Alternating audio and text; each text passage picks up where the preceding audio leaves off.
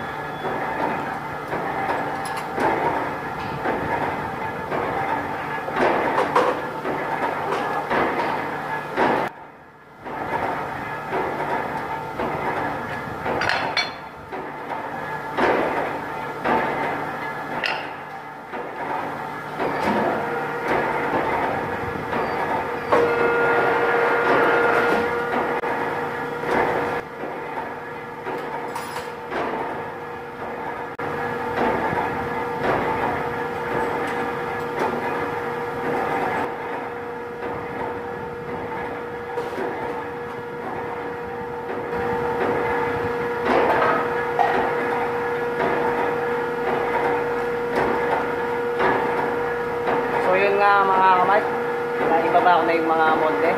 Ah, yung dalawang molde naman yung isasab isasabta ko dahil magpapalit tayo ng molde.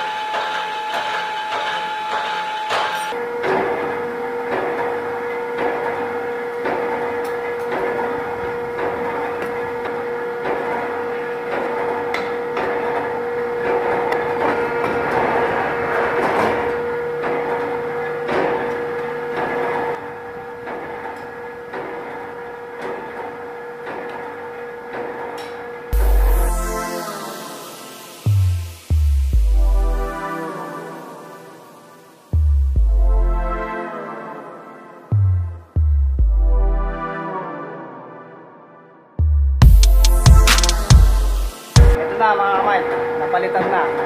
Medyo pinawisan pero okay lang. Para exercise na rin sa katawan. Ay, medyo nahingal ako din ah. Nalaglag yung kinain ko kanina umaga. Medyo pagod pero tsaga lang sa trabaho para para sa pamilya. Ah, shout out nga pala sa mga kapwa ko EPS dito sa South Korea. Ah, mag-ingat po sana kayo sa mga trabaho nyo. At sa mga nag-exam sa EPS, mga KLT, ah, pagbutihin nyo, mag-review muna kayo habang wala pang schedule na exam para makarating din kayo dito. At sa, so paano mga kamal? Tatrabaho muna ako. Maraming salamat ulit sa inyo lahat. Please subscribe, Mike Cavalenti.